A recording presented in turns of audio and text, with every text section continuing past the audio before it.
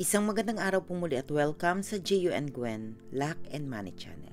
Narito ang swerteng ibibigay sa iyo ng Pasko. Ilang araw na lamang ay Pasko na. Napakabilis talaga ng paglipas ng araw, kaya't hindi mo namamalayan ay sasapit na rin ang Kapaskuhan. Na-excite ka ba sa pagsapit ng Pasko? Ang mga bata ay siguradong makararamdam ng kasiyahan sa pagsapit ng Kapaskuhan. Paano ba naman kasi nakakasigurado silang makakatanggap sila ng regalo at aginaldo sa Pasko. Kaya para sa kanila, kasiyahan ang iniyahatid ng Kapaskuhan. Ewan ko lang din kung yun ba ang nararamdaman ng matatanda.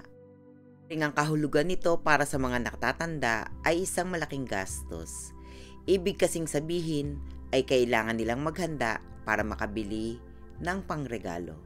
Kung ano man ang tingin mo sa Pasko, nakasisiguro ako na magkaka-interes ka sa ibabahagi kong ito tungkol sa mga paniniwala o pamahain tuwing Pasko. Sa pamamagitan kasi nito ay malalaman mo kung ano nga ba ang ihahatid sa iyo ng Kapaskuhan. Una, ang kapanganakan kung ang birthday ng anak mo ay December 25, ay magkakaroon daw siya ng magandang buhay. Kaya para sa mga may birthday ng Pasko, isa itong magandang balita. Ngunit hindi naman syempre, maaari iyong maghihintay na lang siya kung kailan siya suswertihin. Kailangan din niyang kumilos para magdagsaan ang mga biyaya. Pangalawa ay ang kamatayan Bukas daw ang pinto ng langit kapag Pasko, kaya kung ikaw ay mamatay sa araw na iyon, tiyak daw na dire-diretso ka sa langit. Kung totoo nga ito, parang napakapalad naman nung mga namatay na may mabibigat na kasalanan. Hindi na nila kailangan pang pagdusahan ang kanilang ginawang kamalian. Pangatlo, kapag mahangin sa Pasko. Magbibigay daw ito ng swerte kapag mahangin sa araw na iyon. Marahil ito ang dahilan kung bakit kakaiba ang simoy ng hangin kapag malapit na ang Pasko. Kaya, magandang langhapi ng hangin kapag araw ng Pasko dahil ibig sabihin nito ay pagpapalain ka.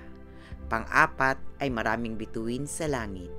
Magandang balita ito para sa mga magsasaka Kapag daw kasi maraming bituin sa langit, magiging maganda raw ang ani. Kung ganoon, magiging masagana ang buhay ng kanyang pamilya.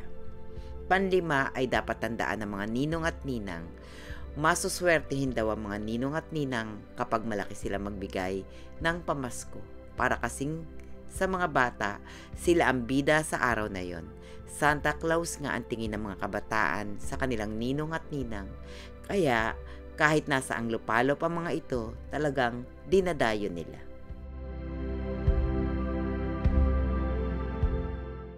Ilan lamang po yan sa mga paniniwala o pamahiin tuwing Pasko. Kayo na po ang bahala kung ito ay inyong paniniwalaan o hindi. Ang mahalaga ay masaya tayo at kumpleto ang buong pamilya sa panahon ng Kapaskuhan. Be positive, stay healthy, and be happy. Maraming maraming salamat.